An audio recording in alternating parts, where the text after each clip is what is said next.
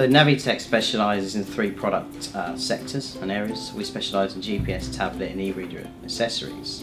We started off with our growth and foundation from GPS. We've since grown into sort of the handheld consumer market of different accessories and we currently sell in nine countries worldwide.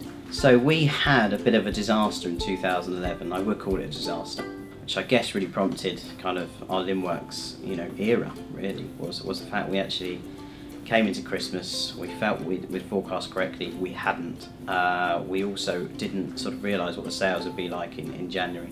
And amongst all of this, we saw increased demand that just went through the roof for such products as e-readers and tablets. We oversold by a mile and we had you know I was putting at strings I was almost coming into work crying it got that bad at one point so you know come January we sort of sat around the table and said you know we need a software provider that's going to stop us overselling so we so we signed up to Linnworks in February 2011 and it has been one of the best decisions we've made as a company it's taken the stress off off, off so many different areas such as invoicing orders inventory the list goes on. You know, it even prompts you, you know, when you need to order.